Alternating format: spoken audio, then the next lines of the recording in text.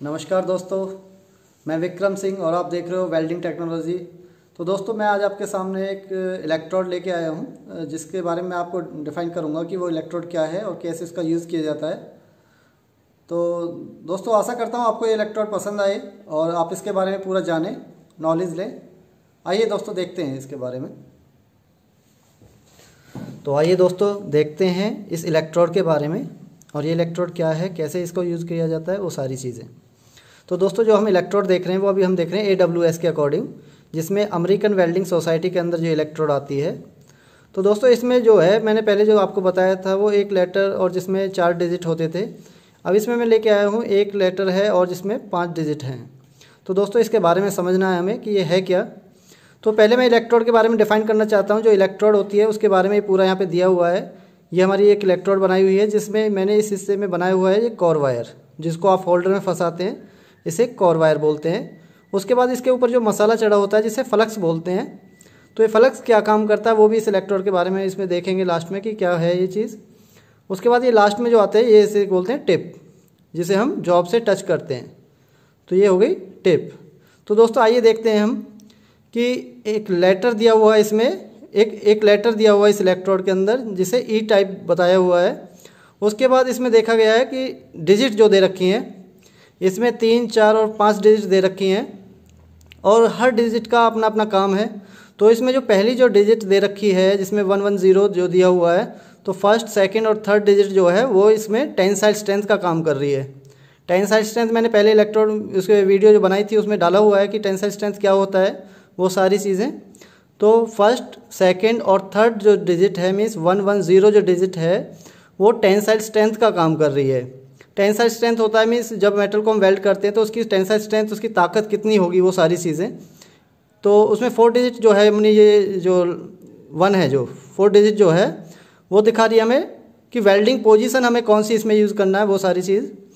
Fifth digit है जो last में दे रखी है एट वो डिजिट बता रही है कि इसमें टाइप्स ऑफ़ फ्लक्स कौन सा है coating coating and colour current कितना होगा, वो सारी चीज़ें। कौन सा करंट हम यूज़ करना वो सारी चीज़ें इसमें दिखाया हुआ है। इसके बाद हम देखते हैं कि एक एग्जांपल लिया है हमने।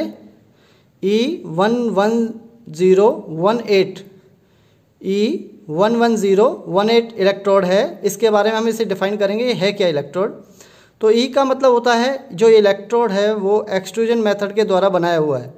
ये जो इलेक्ट्रोड है एक्सट्रूजन मेथड के द्वारा बनाया हुआ है। और इसके बाद जो डिजिट आता है, ये लेटर तो अपना एक ही है। तो उसके बाद ये जो है डिजिट चालू हो जाते हैं। One one zero one eight तो वन वन ज़ीरो जो है, अब इसमें ये जो दे रखे हैं, तीन डिजिट वन वन ज़ीरो तो वन वन ज़ीरो दिखा रहा है इसमें tensile strength tensile strength means जो इसकी ताकत है एक इलेक्ट्रोड की, एक इंच वेल्डिंग करने पर इसका जो पी पी एस आई बनेगा प्रेशर प्रेशर स्क्वेयर पर इंच के अकॉर्डिंग इसमें पाउंड के हिसाब से इसमें, इसकी स्ट्रेंथ बनेगी।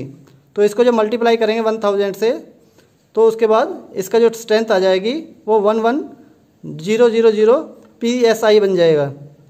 पाउंड स्क्वेयर पर इंच के अकॉर्डिंग इसके बाद इसमें हम देखते हैं और आगे क्या है।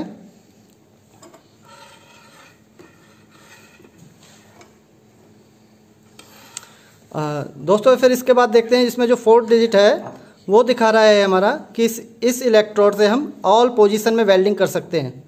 इस इलेक्ट्रोड को ऑल पोजीशन में वेल्डिंग कर सकते हैं। लास्ट की जो डिजिट है वो एट एट डिजिट दिखाता है टाइप्स ऑफ़ फ्लक्स फ्लक्स कौन सा इसमें यूज़ करना है वो सारी चीज़ें। तो इस फ्लक्स से हम, इस फ्लक्स में हम क्या करते हैं? Low hydrogen type electrode use करते हैं। Low hydrogen plus iron powder mix होता है इस इलेक्ट्रोड के ऊपर। इस इलेक्ट्रोड में क्या होता है? Low hydrogen type plus iron powder mix होता है और उसका पेस्ट बनाकर इस इलेक्ट्रोड पर चिपकाया जाता है। और इससे इलेक्ट्रोड से क्या होगा? वो सारी चीज़ें कि वेल्डिंग करेंगे तो पेनिट्रेशन कैसा होगा? वो सारी चीज़ें देखते हैं। तो इसमें जो सेकंड जो दे रख, दे रखा नंबर नंबर टू दिया हुआ है कि इस इलेक्ट्रोड से जब हम वेल्डिंग करेंगे तो पेनिट्रेशन मीडियम आएगा। इस इलेक्ट्रोड से जब हम वेल्डिंग करेंगे तो पेनिट्रेशन जो होगा, वो मीडियम टाइप का आएगा। और इसमें जो करंट है करंट हम A C D C P use करेंगे।